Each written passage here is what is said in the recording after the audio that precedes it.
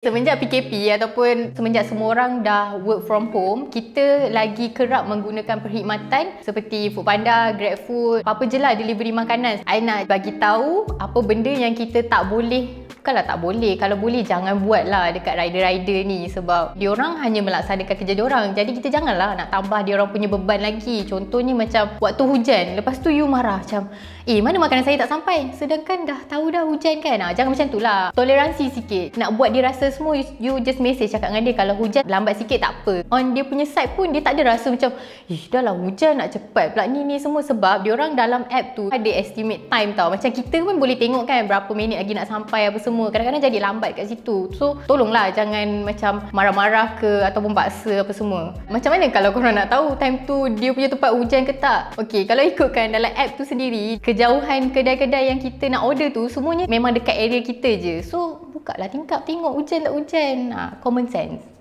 yang kedua, kesesakan lalu lintas. Kita punya kawasan dekat area mana? Takkan kita tak pernah jalan-jalan kat situ kan? So kita akan tahu macam oh dekat depan ni ada 10 traffic light. Memanglah kadang-kadang kita ada nampak motor yang melanggar traffic light. Dia tengah kerja, dia tak boleh buat kesalahan yang macam tu. So kita tak boleh lah pressure dia. Mana tahu memang nasib dia tiba-tiba sampai merah. Tak boleh buat apa benda tu kan? So sabar je lah. Okey, yang ketiga ini adalah untuk customer yang duduk dekat high rise. Lagi-lagi yang sekarang yang time PKP, dia orang tak bagi tau rider untuk naik atas. Dia orang biasanya akan suruh letak kat lobby je. Janganlah marah rider tu kalau macam, "Oh, saya bayar ni untuk sampai depan pintu rumah." Memang, tapi korang kena ikutlah management korang juga. Ada yang dia tak bagi pun rider untuk masuk. Kalau macam saya, saya duduk high rise, kalau Food Panda tu hantar makanan ataupun barang macam daripada Panda Mart ke apa, saya akan suruh dia tinggalkan je dekat guard tu sebab kadang-kadang kita nak turun lift penuh lah apalah banyak juga kan. Ataupun kita keluar nak kena pakai proper dulu apa semua sebab kita turun bawah kan. So jangan bagi dia tunggu. You just cakap je tinggalkan kat situ. Melainkan kalau you kena bayar cash